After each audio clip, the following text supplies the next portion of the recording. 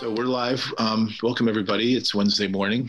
Uh, we are the General Housing and Military Affairs Committee, and we are picking up work on S237. Yesterday, we um, had a pretty much a conversation about what we think we can include in the bill and what we were able to um, leave aside for consideration for another day for next year in particular. Um, it was a conversation that um, I thought it was a fine conversation. It really just addressed the fact that at this time of year, um, while we try our best to get as much as we possibly can across the line, it was clear that there were elements of that bill that needed more work. So um, what we worked on yesterday was a slimmed down version. Um, it was, uh, we posted the new version of it, uh, the most recent version of it. Last night, Ellen finished work on it, adding the section on the covenants and um, broadening that language by taking away the reference to this uh, specific section that no longer exists in the bill. So, um, Ellen, if you could put that particular section up on the screen, just so that we may see it. Okay, so uh, good morning. This morning on your committee page, under my name is draft 4.1 of the strike all amendment to S237. and on page five, um, I added section four, which is the language regarding deed restrictions. so I made two changes based on uh, your conversation yesterday. So the first sentence now reads, deed restrictions, covenants, or similar binding agreements added after January 1, 2021 that prohibit or have the effect of prohibiting land development allowed under a municipality's bylaws shall not be valid. Um, and then the the rest of the language isn't um, hasn't been changed, but that uh, explains that the section doesn't apply to uh, restrictive easements such as conservation easements or historic preservation right easements, um, or housing subsidy covenants um, held in whole or in part by VHFA or other eligible um, holders. So uh, yeah, so that's, and then the only other change in the bill is a small change of adding um, the House Natural Resources as a recipient of the report from DEC on Tri Park. And that's on page six. And that language concerning, um, just to be clear, the, the language concerning um, the loans either to be either um, restructured or forgivable it is is right there as well. Yep. Um, I didn't make any changes to that, but it's um, still in here. And then I just added down at the bottom, Natural Resources, Fish and Wildlife also as the committee that receives the report. Okay. All right. Um, so open for discussion. Um, Representative Troiano. I guess I have a question. I'm not sure how relevant it might be, but as a lister, I have been seeing um, uh, people of my generation who are putting their property in trust for their children. And I'm wondering if that has any impact on these uh, this covenant section at all, or if anyone knows, or if it is relevant. property that would be in trust, um, still ownership by uh, you know recorded ownership uh, to the individual, but in trust in anticipation of leaving it to their children. Uh, I can speak from personal experience that uh-huh. all all uh, statutes concerning housing still are applicable to houses that are held in trust. Okay. Thank you. In, including fair housing standards.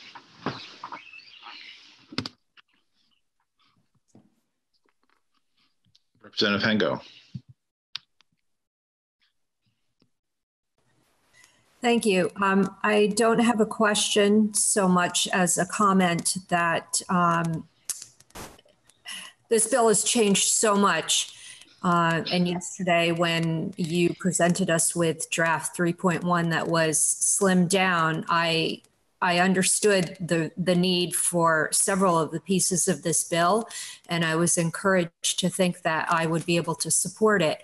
However, um, the 11th hour addition back in of section four regarding covenants causes me some concern. And I have not been able to speak to enough people to make an informed decision about this. Um, so at this moment, it remains one of those situations where I feel like this has gotten rushed through and I'm not comfortable with passing legislation at the last minute like this. So um, I probably likely will be um, not supporting this. Thank you. Uh, thank you for your point. As you're aware, this particular section has been in the bill since we received it from the Senate, so I don't feel like it's an 11th hour addition at all. Um, you know, it was a back and forth in, in the end of biennium on versions, so um, we can agree to uh, interpret that differently. Sounds good. Thank you. Um, any further questions on this bill? Representative Killacky. Uh, well, I, I appreciate um, where this bill has landed. And uh, from when we got it from the Senate, it's, it's had a lot, but I think it's, a, it's, it's in a really good place right now. And um, if you would entertain a motion, I would say that we should uh, move on voting on this bill certainly entertain a motion at any time in a second and continue the conversation until we're ready to vote. So um, if that's your pleasure, please feel free. Uh, I would make a motion that we vote on this bill. On, set, on version 4.1. Yes. I'll second it. Oops, I'm sorry. You, you go right ahead, Tommy. I'll second it. All right. Um, just to be prepared, Mary Howard, are you um, do you have your pencil and your paper? Ron has a um, Ron has a sheet ready to go. So the process, as we've been doing that, um, the um, so we have a we have a motion and a second to accept version 4.1. Uh, are there any further comments on this?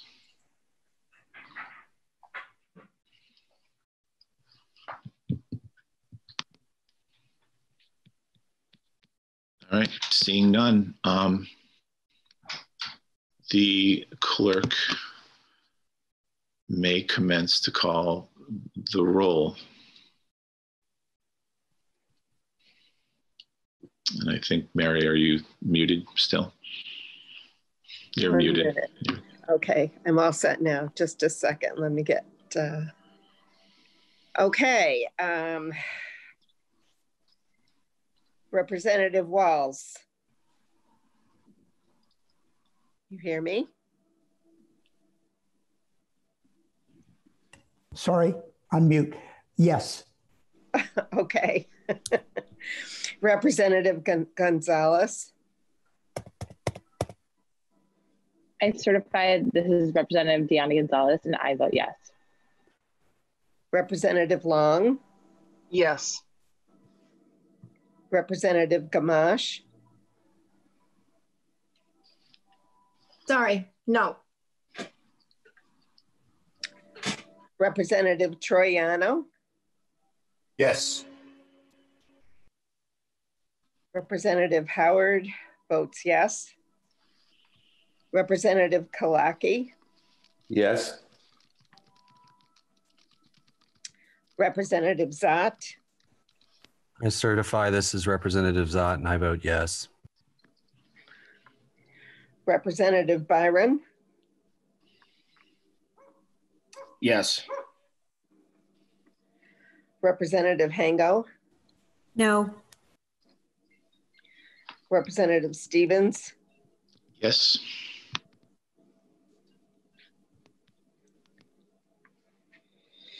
So the vote is nine to zero.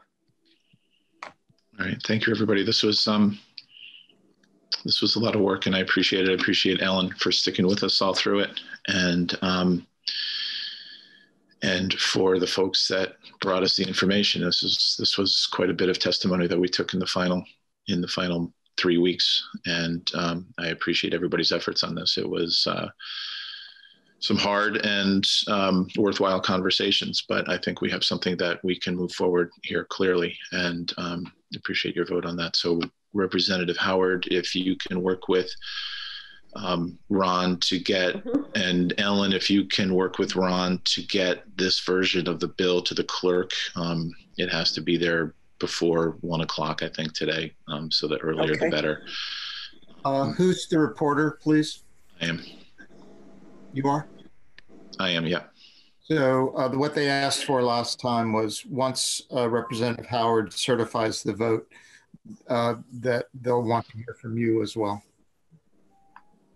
do they need like a small uh, song an email, or a... email certifying? I think uh, Representative Gonzalez sent last time was just an email certifying the draft and the vote. So it's draft 4.1 dated 915. Yeah, so okay. I'll send you I'll send you a clean copy and then you can just you can forward it to the clerk. I can. Yeah. Okay. okay. Thank you everybody. Yeah, thanks for your hard work, uh, Ellen. Appreciate it. Yes, thank you, Ellen. Good job. All right.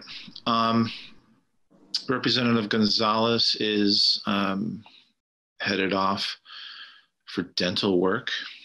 Um, so we will not see her until she returns, perhaps this afternoon, depending on how deep that dental work is. Um, we are going to be moving on to um, at nine o'clock. Damien is going to be here to to take us on a walkthrough. So so I see Joseph, I see Joe McNeil here. Joe, we're going to start at nine o'clock when our attorney gets here. So if you want to um, have a cup of coffee or do whatever you need to do before the before we start um, work on S two fifty four, feel free. Um, Thank, thanks a lot. Yeah, welcome. Um, just um, oh, Damien is coming now, but we're still going to um, just hi, Damien. We're going to have a preliminary conversation prior to um, prior to starting, though. I'm beginning to see um, other folks coming in, so maybe we can start soon. But I want to make sure all the witnesses who were invited are here before we start. Damien, welcome back. Long time no see. Um, I see. You. Good to see everyone. See you've had your post-COVID haircut. Um, Easy when you cut your own hair. So it's, um, but I just want to spend a few minutes, I guess, reviewing. Um, did anybody have any thoughts about um, the conversation that we had yesterday afternoon with the National Guard? Um, any anything thoughts about how that went and um, what we were able to glean from it? I, I'm, I'm interested in the, the clarification. I think it was John's question where the JAG was like, I'm going to have to get back to you on that. that do I remember that correctly? Uh, John, do you recall?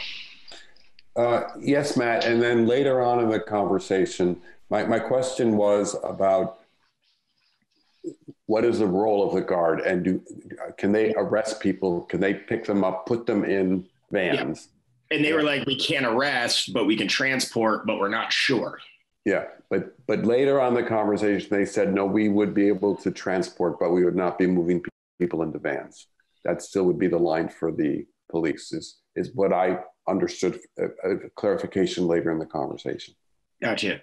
And I, I guess while I've got the mic, um, I would be interested in, in, in what legislative counsel's interpretations were of the other two people who gave testimony as to what their interpretations were, as to how our how Title 10 and everything kind of commingles with our existing laws. Because I'm not, I, I would just like to see what our in-house thinks about what our out-of-house testimony thought about these legal opinions. Sure, and that's something that we can share with Damien. Damien, you're still our National Guard person, right? Yes, I am, and uh, I'm starting to regret that I had to be in another meeting yesterday. no, it's actually it's actually okay. I mean, so we'll talk about it. I mean, we'll talk about it throughout, but just um, in particular, uh, one of the witnesses, Ed Stanak, provided a, uh, an eight page letter that included some legislative cites, either through statute or the Constitution.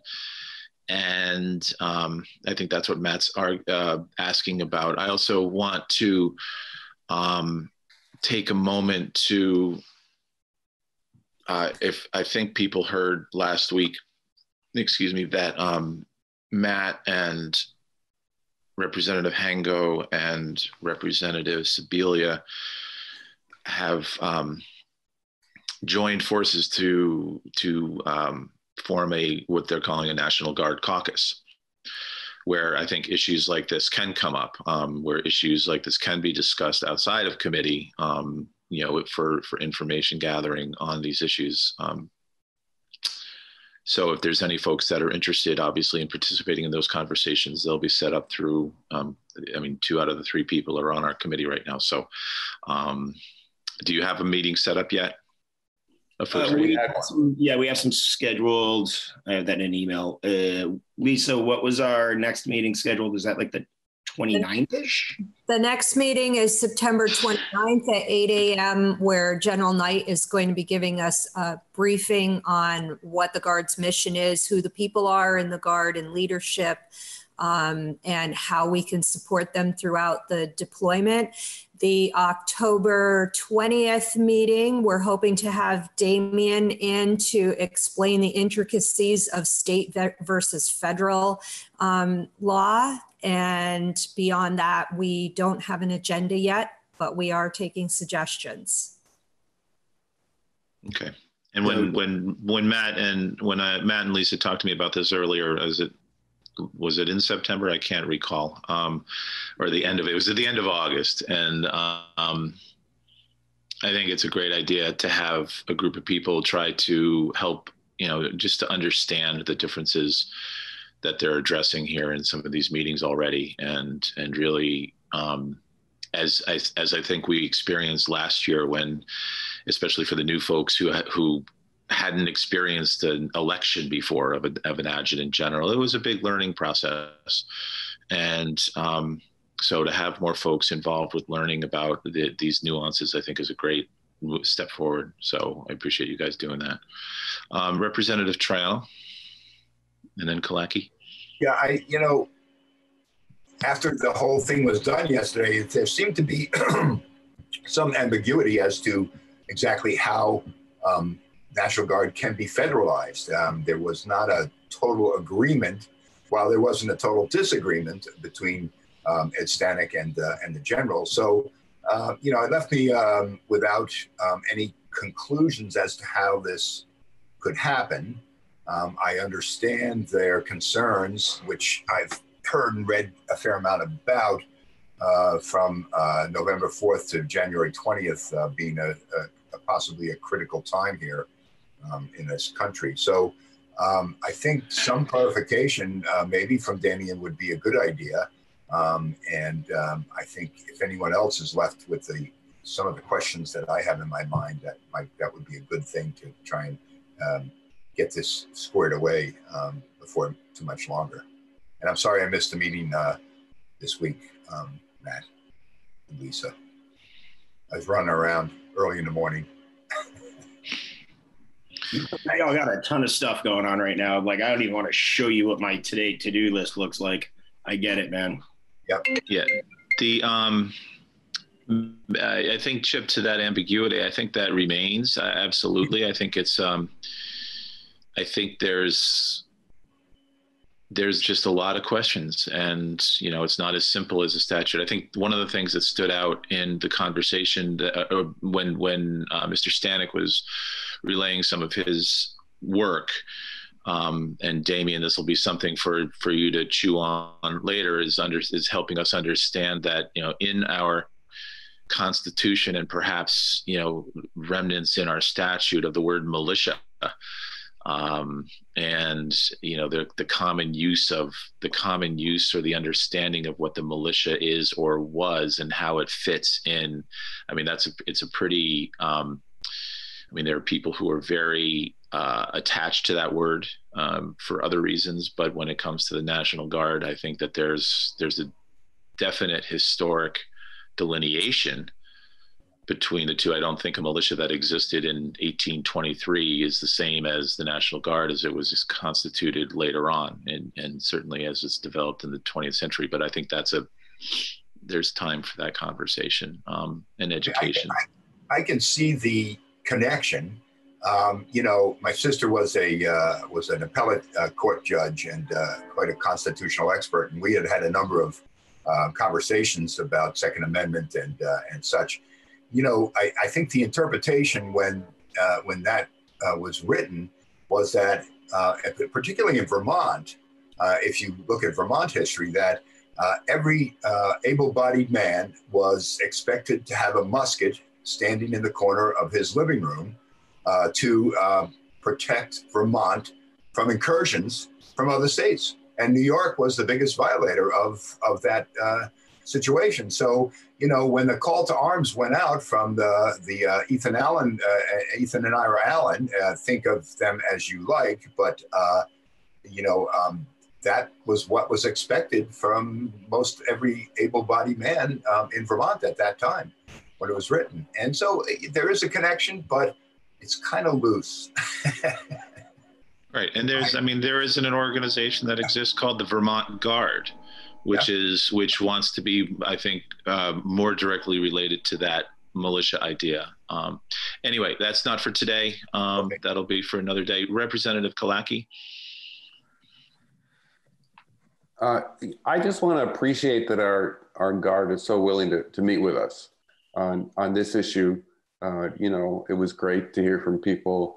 Last summer, I had the Chittenden County legislators and asked if the guard could meet with us about the F-35s because it is, uh, you know, very disruptive in, in Chittenden County for these planes to fly. And there's a lot of emotions. And they said, of course, and sat with 16 of us and fielded all our questions. And so I just, even if we may have differences sometimes, uh, I just think it's incredible that we can have open dialogue uh, with the leadership and they're there and they respond how they feel about things as well. And so I think it's really respectful and and a model. So. Yeah, I hope so. I mean, I think we saw, you know, several years ago when the conversation was so heated in in Chittenden County and in Burlington that um, th- when things get antagonistic, um, when things get antagonistic, they don't progress. And so I hope that we can see that it's um, conversations like yesterday are more that happen more often um, when necessary.